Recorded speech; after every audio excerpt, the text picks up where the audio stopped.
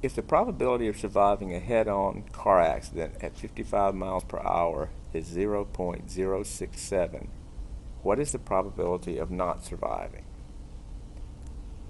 Remember, we have the complement rule, which says that if E is an event, then the probability of E is 1 minus the probability of E complement.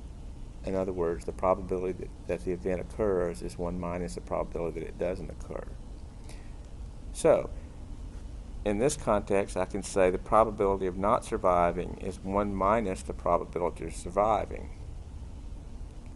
And that's useful because they told us that the probability of surviving was 0.067.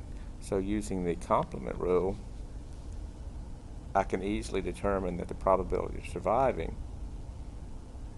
subtracted from 1 gives me the probability of not surviving. So 1 minus 0.067 is 0.933. A cafe has scratch and win tickets with a chance of winning a free meal. If there is a 1 in 10 chance of winning a free meal, what is the probability of winning a free meal?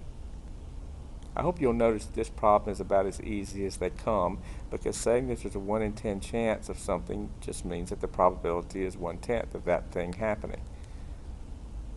So the probability of winning a free meal is 1 tenth. What's the probability of not winning a free meal?